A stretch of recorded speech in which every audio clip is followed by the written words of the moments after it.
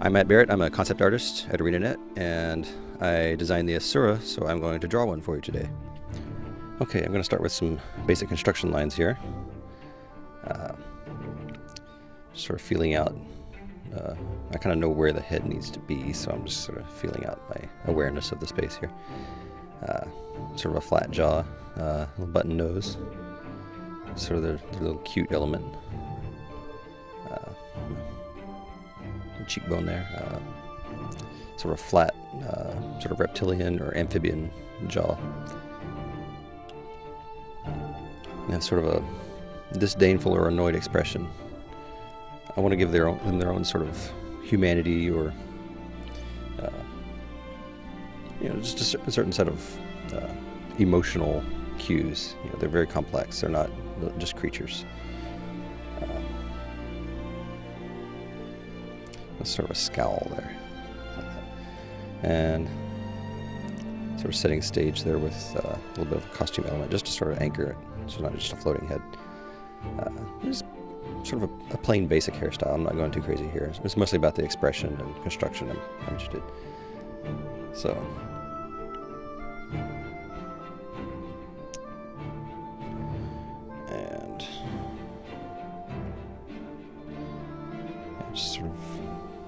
Filling out the space here. These are mostly cues for later, uh, uh, for the value pass. I'm not necessarily going to keep those, sketchy lines.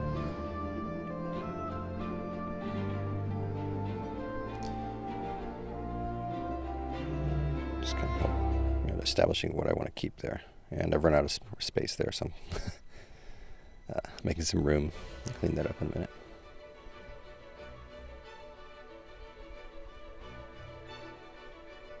I like to think these guys are pretty proud of their ears, so it's it's important to make sure I've got the whole ear. They're cave dwellers, so yeah, or originally. And just kind of trying out some stuff. I think this is not going to work very well, so gotta knock the opacity down.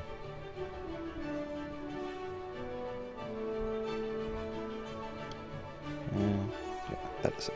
So just gonna go ahead and fill out some of the some of the mass, sort of get a neutral a neutral tone to push and pull my lighter and darker values from. It'll help just sort of establish my awareness of this, the, the, you know, the, the way it occupies the space. So, just sort of a base primer layer, if you will.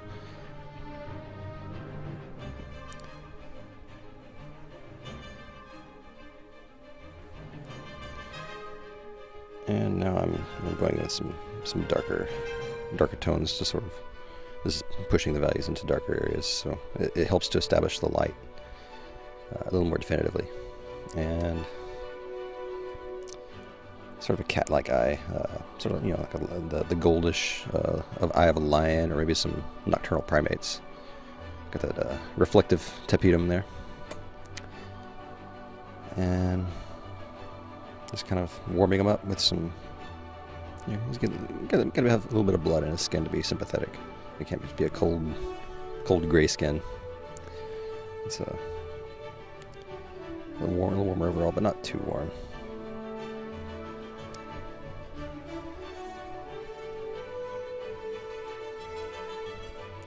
And when, when I do that, I'm just uh, I'm kind of getting an idea of uh, where I still have areas unpainted, where it's uh, sort of a, a full white. I, I don't want to leave too many areas like that.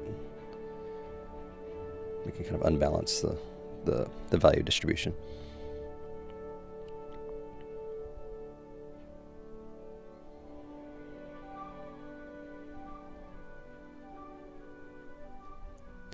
Now I'm just kind of leveling, leveling everything, everything out into a consistent level of uh, polish for you know just a certain mid-level uh, rendering. Uh, I'll, I'll go in and harden things up a little later and tighten things up. Uh,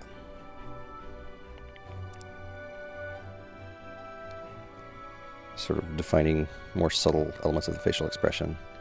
It's a little, uh, it's a little tricky with, uh, especially around the eyes.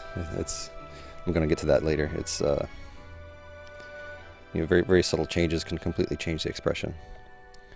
So,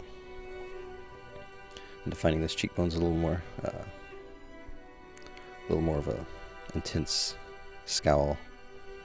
He's he's not a nice guy. a little darker around the eyes, a little more sinister.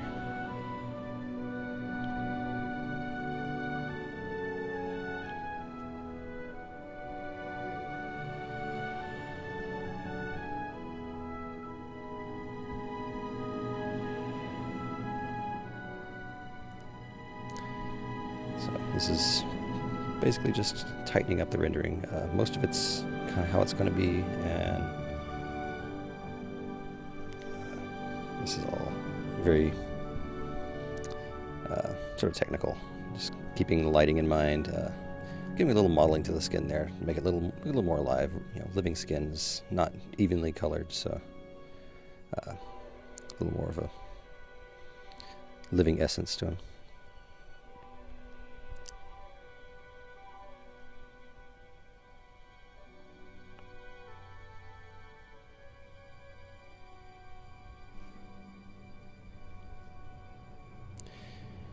I like the interior of ears, especially there. It's it's nice, sort of shiny skin. It's it's uh, sort of a treat, a treat to paint.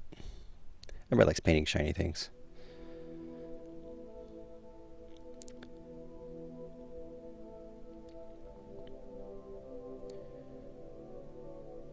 And sort of hardening up the shadow there to sort of uh, intensify the light.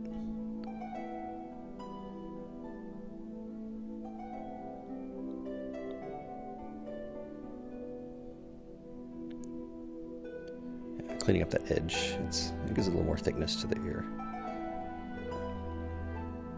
Also cleans up a little bit of a sketchy line there. But yeah, here's the, the shiny ear. It's sort of oily and smooth skin in there. It's, I love painting different types of skin. It's uh, it's very enjoyable.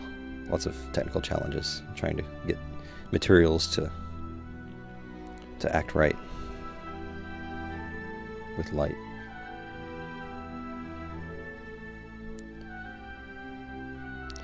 And getting the detail in the interior of the face, there's not a lot of room there, so I had to decide what to keep and what not to. So uh, I can't have too many creases or folds, or else it gets really, really busy, and you sort of lose the expression.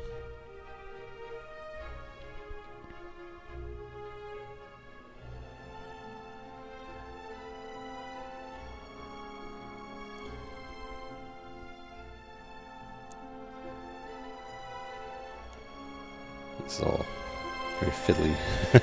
it's not changed much in the last uh, few seconds. It's uh,